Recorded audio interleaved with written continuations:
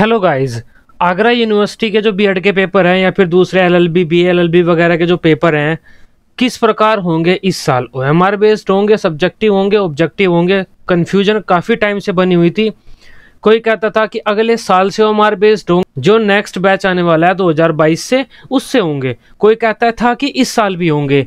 अब इन सारी कन्फ्यूजन्स को आगरा यूनिवर्सिटी ने दूर कर दिया है ऑफिशियल नोटिस जारी कर दिया है। इस वीडियो में हम देखेंगे आपके एग्ज़ाम किस प्रकार होने वाले हैं।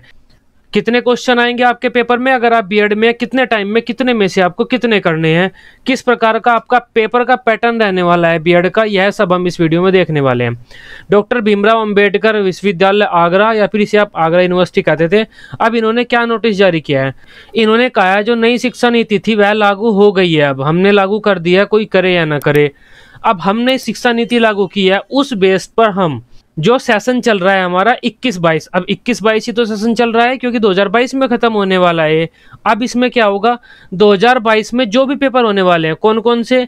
बीएड प्रथम वर्ष और बीएड द्वितीय वर्ष। दोनों बीएड आ गई आपके 2022 में आपके पेपर हो रहे हैं बीएड प्रथम वर्ष या बीएड द्वितीय वर्ष। इसके अलावा एलएलबी या बी एलएलबी के जो भी इस टाइम होने वाले हैं, प्रथम, द्वितीय, तृतीय, चतुर्थ, पंचम षष्टम जो भी आपके सेमेस्टर वगैरह, जो भी इस टाइम पेपर आपके होने वाले हैं 2022 में होने वाले हैं, एलएलबी या बी एलएलबी की, सभी की परीक्षाएँ। वस्तुनिष्ठ बहुविकल्पीय होंगी मतलब ओ बेस्ड होंगी। सौ क्वेश्चन आपको मिलेंगे, उसमें से पचास क्वेश्चन आपको करने होंगे। पेपर का पैटर्न अच्छा बनाया इन्होंने, सौ क्वेश्चन देकर। अगर सेवेंटी फाइव देते, बच्चों को थोड़ा टफ महसूस होता पेपर हंड्रेड क्वेश्चन में से आपको बस पचास क्वेश्चन करने, डेढ़ घंटे का टाइम है।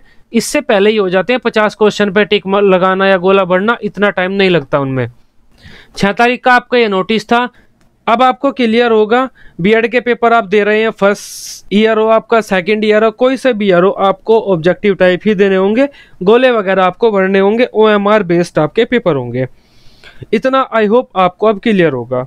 इन्फॉर्मेशन अगर आपको अच्छी लगी हो, आप इसे अपने बी ग्रुप्स में शेयर कर सकते हैं। Till then bye take care